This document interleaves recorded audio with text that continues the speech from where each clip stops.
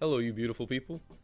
Today I wanted to talk about my fantasy teams and how I'm preparing them for the NBA playoffs. So I'm currently in two head-to-head points leagues and one head-to-head category league right now. So as always, feel free to like and subscribe if you want to, and join the Discord in the description if you're a short king. And with that being said, we're just gonna get into the video.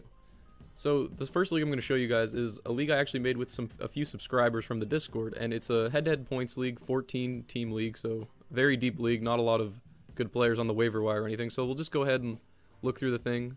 As you can see, like this league just started, like we just kind of started this for fun a bit late, so only been in it for two weeks now. But I'll just go ahead and show you my roster. I haven't really made any trades. This is just mainly off of a draft. So we got Derrick White, my guy, Malcolm Brogdon, Wiggins, Bam, Ayton, Poole, Clark, Brunson, Hart, Gordon, Fournier, Kanter. Not even gonna try that guy's name, but you know Poku and Joel Embiid. And yeah, I'm all right. I'm like mildly content with the draft I had. Like as I said, we just started this league, so like I was just picking guys that would win now. Sort of, I was just kind of focusing on making the playoffs, but Embiid getting hurt really hurt my chances of even making the playoffs or of winning them at all. Pretty much, I don't really like my team that much. It's not too deep, but like I said, this league was just made for fun a few weeks ago, so nothing too serious. And yeah, with that being said, just wanted to show you guys that quickly if you were interested. I'm planning on doing more leagues with subscribers next year, so definitely be on the watch for that. And yeah, we'll just go ahead and go to the head-to-head category league. This is another league that's like just casuals. Like the last league I'm going to show you guys is like my pride and joy team, but yeah, we'll just go ahead and look at this. It is a 10-team head-to-head category league. So I got Steph Curry, CJ McCollum, Tatum, Bam, Woods, Simmons, Turner, Robinson, Brown, Kevin Porter Jr., Murray, Young, Garland, and Davis. And unlike the other league, there has been a few trades in this one. So as you can see, my record right now currently seven, three, and one. So I traded for Curry. This was just a steal because one guy just didn't play at all. So I traded like I think it was Chris Boucher for him. That on that one stretch that Chris Boucher was like a fantasy god. That guy was like a casual. He didn't care too much about fantasy. So like I said, this league's mainly just casual players as well. So not too big of a deal. And then I drafted CJ, drafted Tatum, drafted Bam, drafted Wood, drafted Simmons too, I believe and Turner. And Turner's just been a absolute steal in category leagues. Like I got him. If we go ahead and look at it here, I think I got him with like the 70th pick or something. I got him the 86th pick, which is absolutely insane for someone who's pretty much single-handedly winning me the blocks category. He's averaging 3.4 blocks a game. Then we got Robinson, who's just a specialist. When I make my category league teams, I sort of just want guys that are either good all round or just like specialists in one thing. So like the categories I'm focusing on for this season anyway are going to be steals, assists, three pointers, points, and blocks. Rebounding was in there because I had Andre Drummond at one point, but had to get rid of Andre Drummond. So, and I, that's actually how I got Jaylen Brown and Ben Simmons. So I'll go ahead and show you that trade real quick. And I traded Zach LaVine and Andre Drummond for Jaylen Brown and Ben Simmons. And so far, I'm content with that just because Andre Drummond hasn't been playing. So I was like, I'd rather have people that are playing right now, and I'll just kind of shift my category focus. Plus, I really like Ben Simmons for category leagues, especially since I'm punting percentages essentially. So, definitely a great trade for me in that situation. And then, yeah, I just picked up Kevin Porter Jr. off of waivers just as like a streaming spot while AD's out. And then we got Murray, who's great for steals, points, and surprisingly good at rebounding for a guard, too. So, that's definitely an underrated feature of him in category leagues. Then we got Thad Young, just a solid all around contributor. Garland, who I'm not a particularly big fan of, but I have him on the team for right now again because I'm not too interested in percentages. And then of course we got AD on the IR. Him getting hurt really kind of threw my season for a loop, honestly. Because like if you look at my team, CJ missed a ton of games, Jayson Tatum missed a ton of games, Wood missed a ton of games, and now AD's missing a ton of games. So nothing I can really do about it. Not like these guys are like super injury prone. Like CJ's not. AD, I guess has to be classified as being injury prone at this point in his career, but yeah, it's not like a super big deal because, like I said, this league is more just for casuals. And with that being said, we're gonna go ahead and move on to my last league, which is like the league that I take seriously. I have this with a couple of my friends, and obviously we put some money on it, you know, here and there. And yeah, as you can see, I'm seven and four right now. Again, the injuries have not been kind to me, so we'll go ahead and go through like each player individually and how I got them because, like I said, this league I take much more seriously, so make a lot more trades and people are more active in it. So if you watch my other video on how to build your fantasy teams quite a while ago, you can I most of these players are the same, but I have made a few moves since then. So first up is Damian Lillard. I traded him a few months ago for Devin Booker and Richaun Holmes. And honestly, I'm very content with the return just because I'd rather have Dame than those two because I'm, I'm I had a really good draft, so I had a lot of depth. So I was just trying to get a star player. And that's pretty much what I got here in Dame. Speaking of star players, next up we got Bradley Beal. Uh, so I traded Bradley Beal for OG and Devin Booker. So again, I think that's a great trade for me. OG has been hurt, so it was essentially Booker for Beal, and that's think I think that's a pretty good trade for me. I should mention this is an eight-team league, just so you guys are aware, not 10, not 12. And then Luka, I drafted him. I had the third pick overall this year, so decided to take Luka. It was between him and Harden for me personally.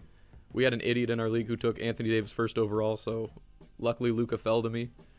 And then next up is Kawhi Leonard. And this is definitely like the biggest finesse I had of the year. And this is after Christian Wood got hurt, but I traded Giannis Antetokounmpo for Christian Wood, Mike Conley, and Kawhi Leonard.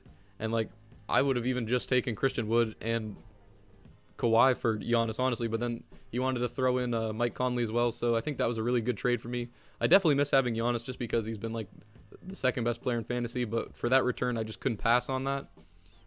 And then yeah, next up Nikola Vucevic. I drafted him. I think I had drafted him like 30th overall.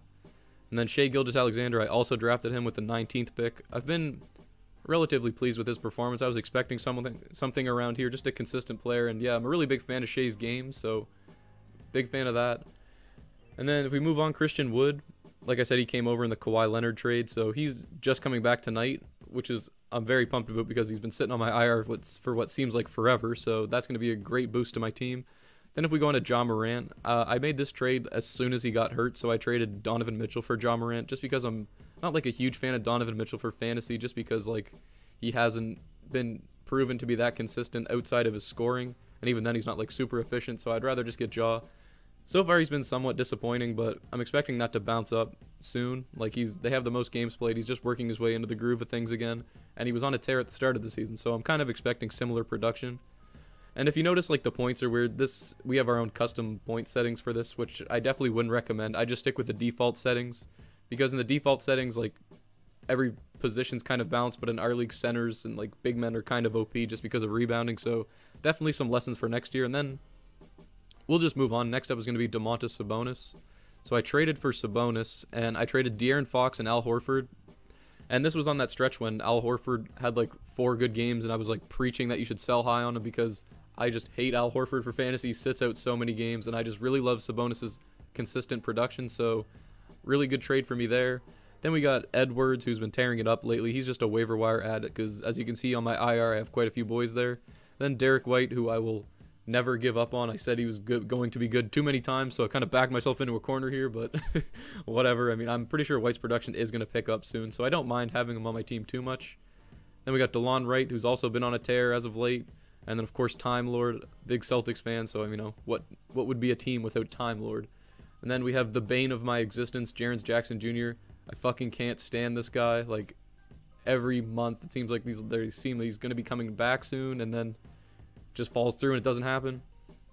Then if we move on, we got D'Angelo Russell here, and he's also been pissing me off. So I traded Lonzo Ball and Evan Fournier for him, and that's just because at the time I needed to do a two for one to activate someone else on my IR. So I'm kind of regretting that because like the very next game D'Lo got hurt and he hasn't played for me since, but he's supposed to be back soon, so hopefully he gets back healthy and then that'll really help my team out. I wasn't too big a fan of Evan Fournier and I didn't think Lonzo Ball was going to sustain that kind of production, but he's been surprisingly consistent so far this season. So shout out to Lonzo. And then the last player on my team is going to be DeMar DeRozan. And as we look here, I traded Anthony Davis for him. And this was, of course, after AD got hurt. Originally, I had Anthony Davis on my team, and I gave up a lot to get him, so it kind of hurt. But I was just glad that I could get a return like DeMar for him because it looks like AD is going to be out for like another month at least. So, yeah, I like that trade for me. And overall, those are going to be my fantasy teams for the year. So, as you can see, this is the head to head points league. I'll just scroll through one more time in case you want to look. I'm really liking it in terms of the playoffs. I mean, I got a lot of guys that I think are going to perform really well in the playoffs, like Dame, Beal, Luka, Kawhi, Vucevic. Shai, Wood, Ja, like pretty much the entire team, honestly.